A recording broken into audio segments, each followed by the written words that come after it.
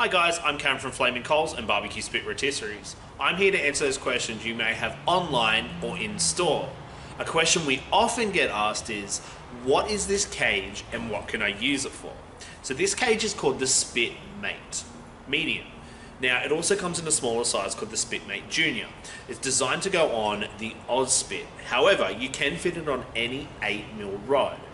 Now, a lot of people use this for different applications. I've um, seen people cook popcorn with it, roast cashews, uh, chestnuts, roast coffee, chicken wings. So really, the sky's the limit. As long as it fits in the cylinder and it can turn around.